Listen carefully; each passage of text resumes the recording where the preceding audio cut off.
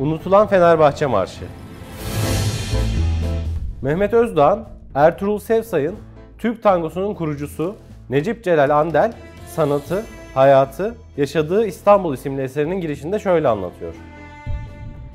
Necip Celal, Mazi, Suna gibi tangolarıyla döneme damgasını vurmuş, onun kemanımla ona bir ses verebilseydim eğer tınıları İstanbul sokaklarını uzun süre çınlatmıştır.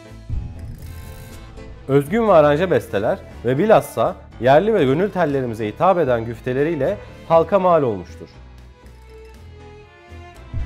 Mehmet Celalettin Bey 1865-1927 1934 yılında soyadı yasası çıktığında ailenin büyükleri toplanmış. Tartışmalarla geçen uzun bir süreçten sonra soyadı olarak Antel'de karar kılınmış.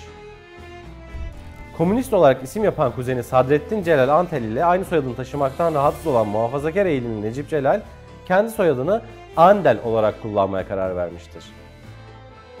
1949 yılında Türkçülüğün başını çeken bazı yazarlar ve özellikle Nihal Atsız sürekli Sadrettin Celal'i hedef göstermiş, aleyhinde yazılar yazmıştır.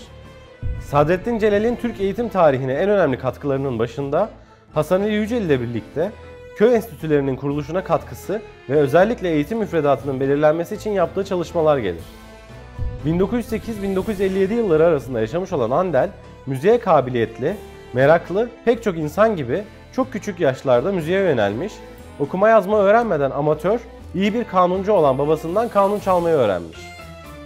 Kendi ifadesiyle plaja gitmekten fotoğraf çekmeye, danslı partilerde saatlerce dans etmekten araç sürücülüğüne, sergilere katılmaktan amatör şarkıcılara koro eğitimi vermeye, tarlada çalışmaktan at binmeye kadar çok çeşitli merakları var.